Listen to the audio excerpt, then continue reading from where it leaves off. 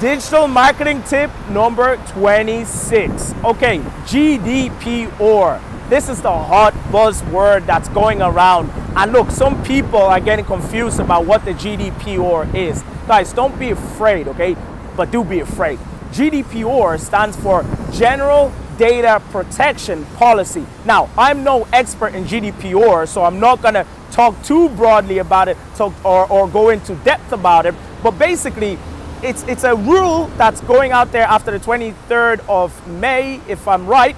It just means that you have to be compliant with their regulations. Unlike before, the, the, the general data uh, protection policy wasn't so uh, wasn't so much regulated, and um, so people were sending spam emails, getting emails from um, uh, directories, buying emails, and just sending out random emails and co annoying companies and users of companies, you know, employees and so much forth.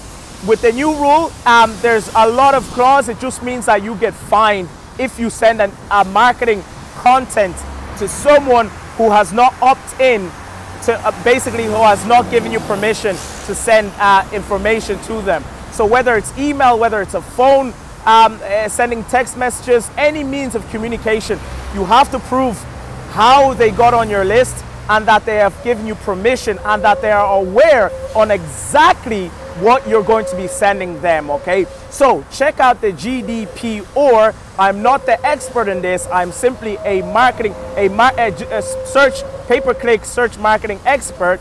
I focus on search marketing in terms of uh, bidding for my clients, getting uh, budget, managing a budget on Google, getting them leads, okay? So it's important though, I share with you that um, you must make sure that your website is compliant with GDPR and how you can get this, make sure you can download, go on Google and search up GDPR um, uh, uh, website compliance check. I'm sure a lot of web designers out there will give you a free uh, compliance check and check with your website designer because the fines are up to 2 million and more, okay? At the moment, if you're a small, small business, it's not you're not going to be the first priority. But essentially further down the line you will. So make sure you do things the right way and check that you're GDPR compliant.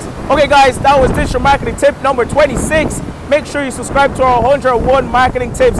I look forward to talking to you. I hope that tip has added value to your life. See you soon and see you on the next tip. Thank you